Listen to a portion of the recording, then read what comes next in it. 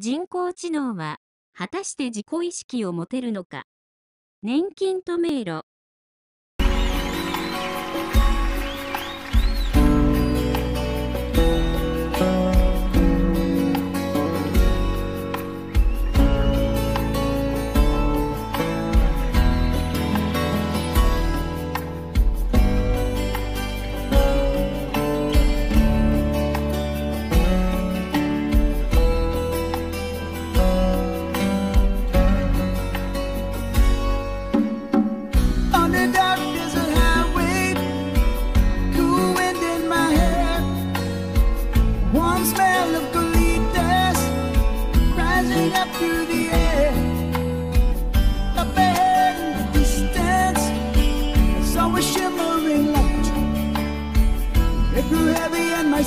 to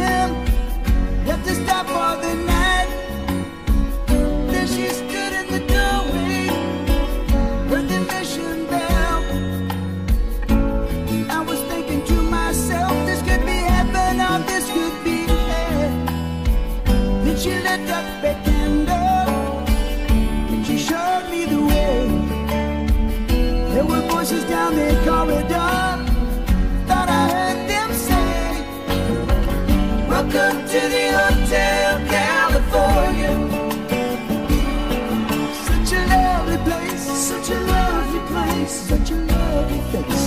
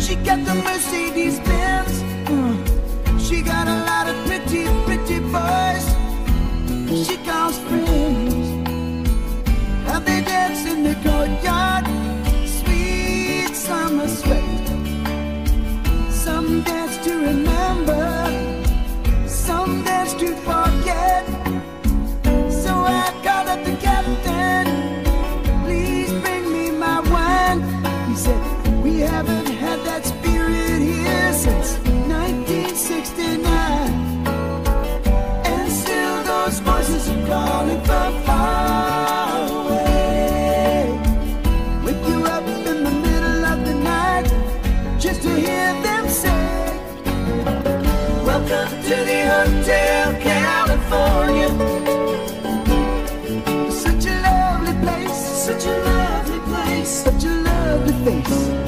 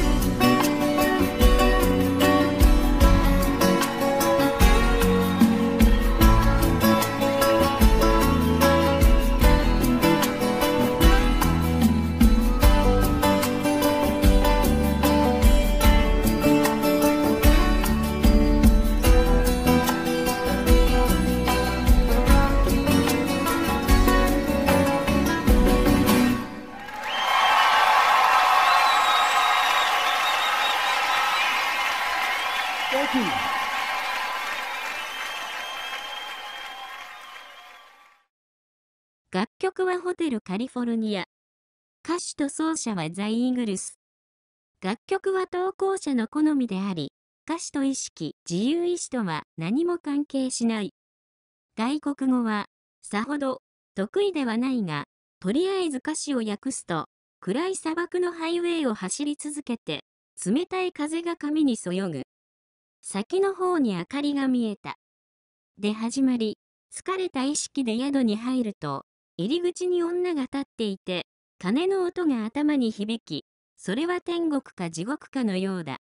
女は、ろうそくを灯し、部屋に案内する。廊下では誰かが囁いている。ホテルカリフォルニアへようこそ。素敵なところです。と続く。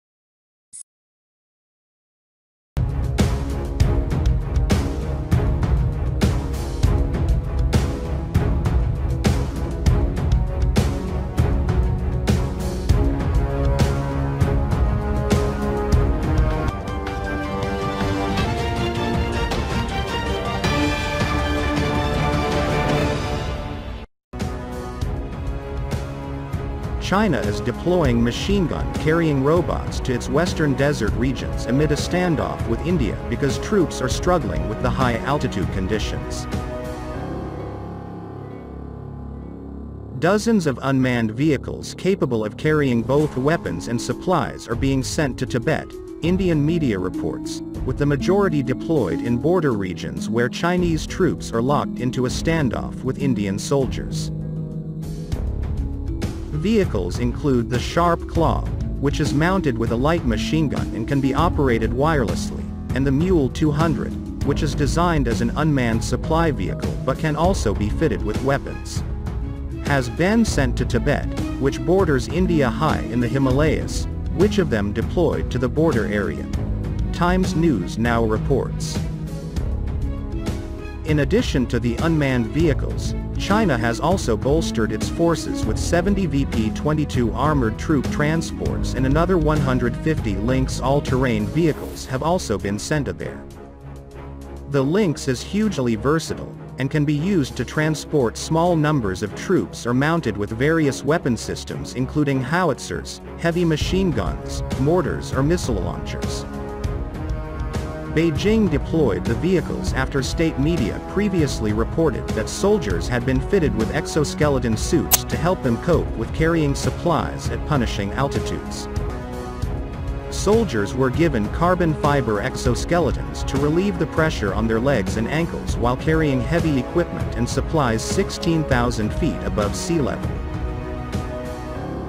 China and India have fought an on-off conflict in their border region for decades along what is known as the line of control.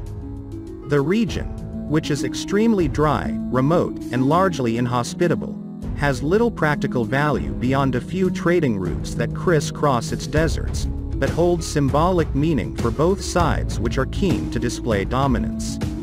Tensions ramped up in 2020 as hand-to-hand -hand fighting broke out between Chinese and Indian troops, with dozens killed in skirmishes fought with melee weapons including nail-studded clubs. China accused India of provoking its troops, while India accused Beijing of attempting to redraw the border and encroaching on its territory. While satellite images seem to back India's claims, showing new Chinese constructions in disputed areas. The clashes sparked a diplomatic back and forth between Beijing and Delhi, with India cutting some trade ties and banning Chinese phone apps. However in June last year China began dismantling some structures in disputed zones which eased tensions, though the region remains on high alert for further clashes. 中国共産党は人工生物を使って世界を征服し、人間である人民は能力で選別され適正人口に減らされる。 現在の人工知能開発の真の目的は、中国共産党が戦争機材に自立性を持たせて、人工自立性の軍隊だけで世界征服を狙う野望であり、日本の唯物科学者たちは、中国に渡航してそれに協力している。唯物国家である中国共産党と唯物論信奉者は、この世界の万物は単なる物質で構成されていると信じているから、本気で人工生命が完成すると思っており、それは宗教信仰に等しい。中国共産党は、この人工生物を使って世界を征服し、世界を支配することになれば、中国国内をはじめ、世界中の人間は、能力別に選別され、その地域の適正人口に合わせて減らされる。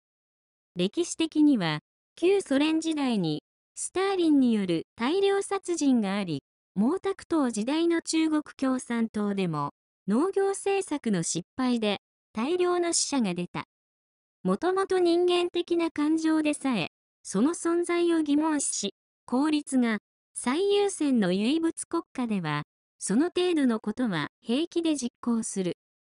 しかし、その中国共産党の野望が達成されることはない。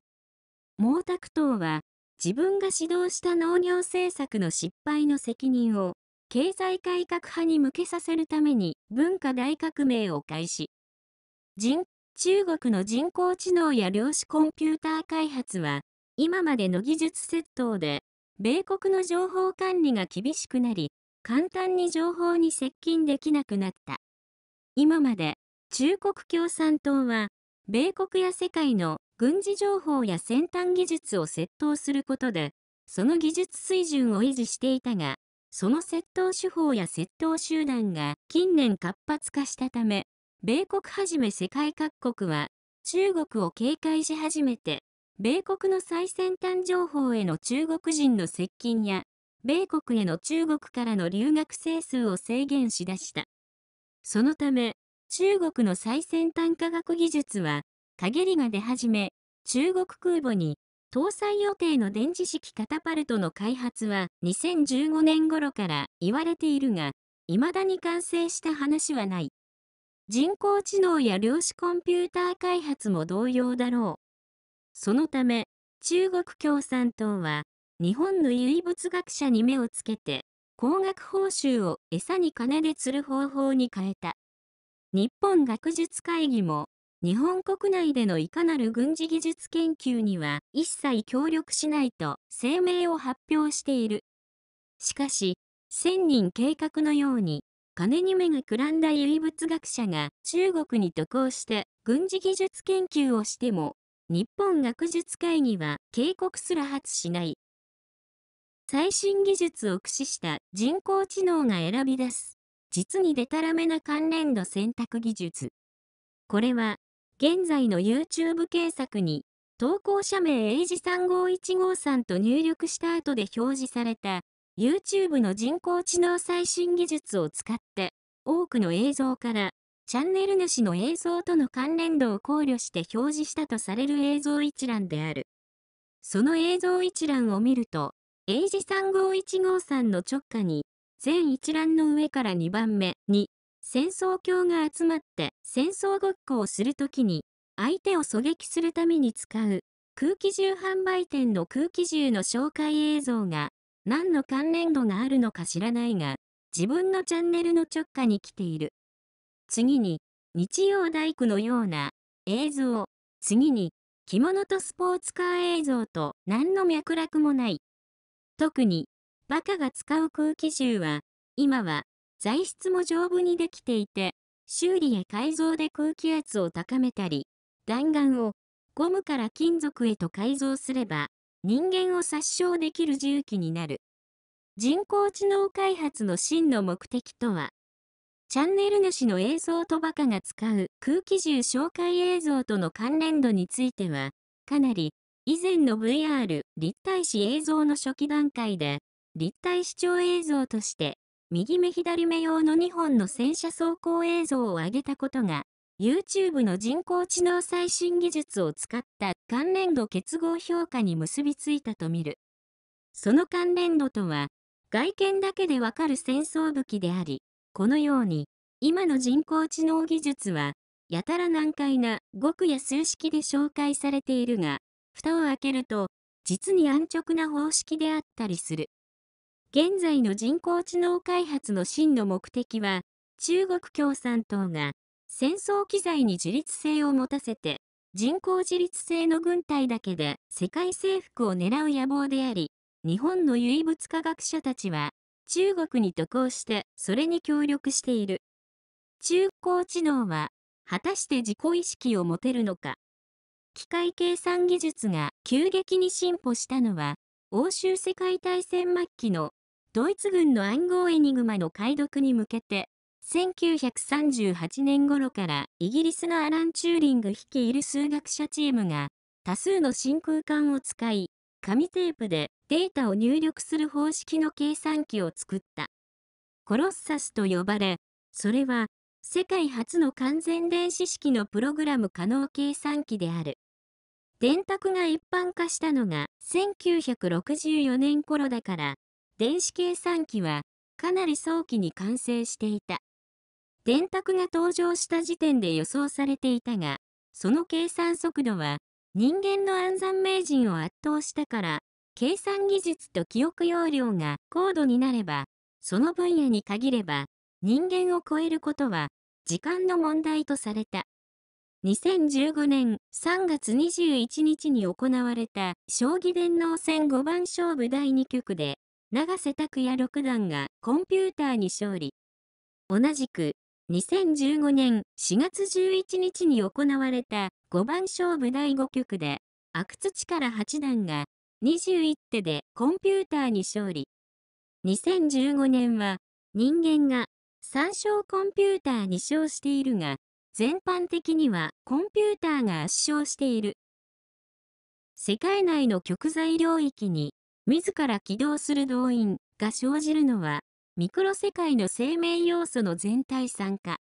しかし、人工知能に生命性を付帯できるか否かは、世界内の部分的極材領域が古典物理学でいうところの完全に世界からの孤立系であり、そこに、自ら起動する動員、言い換えれば自立性が生じるか否かだが、考えられる可能性として、コペンハーゲン解釈での波動関数収束理由と同じで、なぜ、量子力学のコペンハーゲン解釈は、人間の意識を必要としたのか、でも述べたが、二重スリット実験での観測のように、もはや、微細物質の観測では、観測する側と観測される側に分かたずに、観測者の意識とミクロ領域とが反一体性あるいは反連動性を持つと考えるべきだと述べた。この問題も、それと同じで生命性を付帯する側と付帯される側に分かたずに、特に自立性を指導できる条件として、自ら起動できる形態を持っていなければ不可能だと思える。さらに、その形態はミクロ領域の生命要素との反一体性あるいは反連動性を持てなければならない。つまり、自然な生物の生殖以外の方法はない。種子の発芽に量子効果は必要か、あるいは、なぜ、私は人間に生まれて猫ではないのか。それでは、植物の種子の発芽には、何らかの量子的影響が不可欠なのか。植物の種子の発芽は自己増殖の軌道であって、植物には触覚などの感覚器官も神経軸索もなく、自らを成立させる必要がない。年金が迷路を解くと言われるが、年金とは多細胞性の個実体を形成する能力を持つアメーバ用の単細胞生物の総称。生活環境の中でアメーバのように運動して微生物を捕食する時期がある。迷路では、運動と停止を繰り返して出口に至るが、その反復過程で、迷路探索のような知的と思われる行動は見られない。さらに、なぜ、私は、人間に生まれて猫として生まれなかったのか、あるいは、猿は、今後、人間に向けて進化するのか、といった疑問も持たれるかもしれない。特に、この点は重要だが、猫も猿も人間も、自意識には程度の差はあれ、自らとして起動する動員は全く同じ動員として成立する。特に重要。私も他者を脳のも、自らという自己意識の根本は同じ。そのことは、見知らぬ他者を脳のも同じであり、人間一人一人の自分史はそれぞれ違っていても、人間一人一人の自らとして起動する動員は全く同じである。それは、他者各々が、いろんな理由で死亡しても、次々に誕生してくる人間各人もまた、自らとして起動する動員として自意識が成立して死亡していく循環サイクルであり、自分史での経験や記憶はそれぞれ異なるが、自らという自己意識成立の根本は同じなのである。人工知能ではできない生物としての思考の喪失。微細世界は人間の意識成立に参加すると言ってもよく、特にその参加する事例として挙げられるのは、人間の瞑想時での着想や人間の勘あるいはインドの天才数学者ラマヌジャンの論理的解放を省略したひらめきなどだ。特にひらめきは着想の時点では、明確な論理性を持たないが、その論理的整合を考える過程で、意外な発見をする場合もある。あるいは、誰もいないはずの部屋へ入る時の部屋の気配や、遠方に住む親族の死を予感させるような意味のある偶然、シンクロニシティ。さらに、外界を意識する時の自己意識は、外界に同一化することなく、常に自己を中心にして外界を俯瞰しており、これもミクロ世界の生命要素の全体参加によって成立する。このように、人間の無意識下での人間の潜在的思考や行動構想も、その脳内では、決して物質的反応だけで行われているのではなく、生命要素を持った微細領域が参加しているのかもしれない。人工知能は果たして自己意識を持てるのか。年金と迷路。投稿者は、この他にも、人間の意識や自由意志を説明するアイデアを持っています。この人間の死生観を深く究明するためにも、チャンネル登録や高評価をお願いします。